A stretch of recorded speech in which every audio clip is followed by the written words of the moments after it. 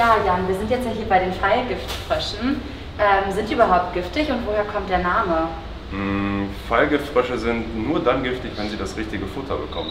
Hm. Äh, das heißt, sie müssen die richtigen Ameisen oder Termiten fressen, damit sie auch ein, ein giftiges Hautsekret produzieren. Und Pfeilgiftfrösche heißen die, weil die Ureinwohner in Süd- und Mittelamerika damals ihre Pfeile, ihre zur Jagd, äh, an den Hautsekreten der Frösche gerieben haben und äh, so dann ihre Beute erlebt haben.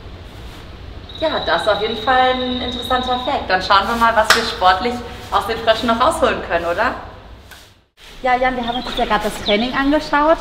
Äh, was ich mich natürlich frage, trainiert ihr jetzt mit den Robben für die Shows oder gibt es da noch einen anderen Grund? Nein, wir trainieren äh, vor allen Dingen einfach einmal sind das äh, Jäger, das sind Raubtiere, die brauchen jeden Tag Beschäftigung und vor allen Dingen viel wichtiger ist, wir trainieren auch Abläufe, die wir nachher vielleicht mal brauchen, wenn der Tierarzt kommt.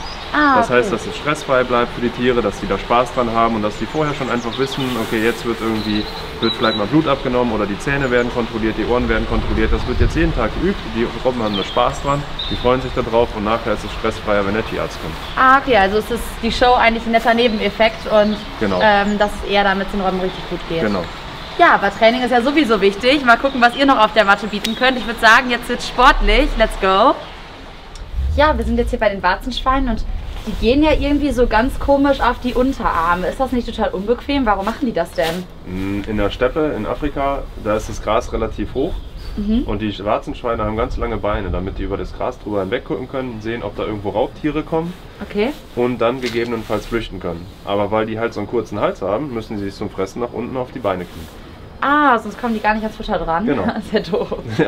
ja gut, da gucken wir mal, was wir in Unterarmstütz auf den Unterarmen so machen können. Ja, wir sind jetzt hier bei den Elefanten. Neben mir steht die Corny.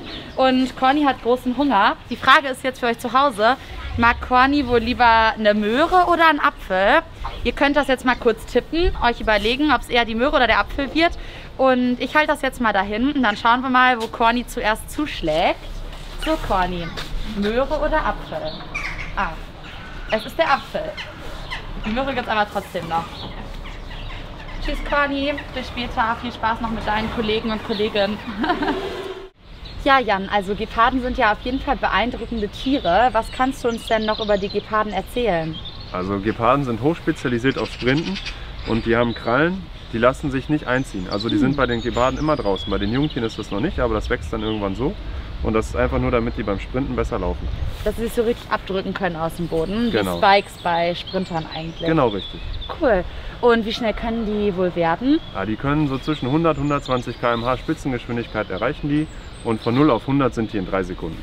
Wow, okay. Also diese 120 km/h, das ist ja ungefähr, dass man sich besser vorstellen kann, knapp unter der Richtgeschwindigkeit auf der Autobahn. Wahnsinn. Also können die euch demnächst neben dem Auto her joggen beziehungsweise sprinten, wenn ihr mit dem Auto auf der Autobahn fahrt. Gucken wir mal, was wir daraus machen.